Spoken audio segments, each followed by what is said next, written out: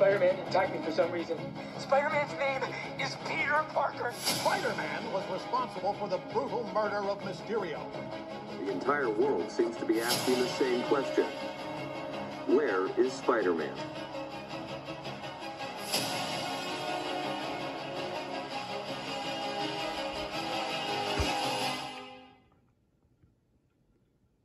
You are a criminal, a menace, and the good people of this nation will squash you like the bug you are. It's Peter Parker. Allow me to help you. Imagine what we could accomplish together. You're saying there's a multiverse? I cannot defeat them alone.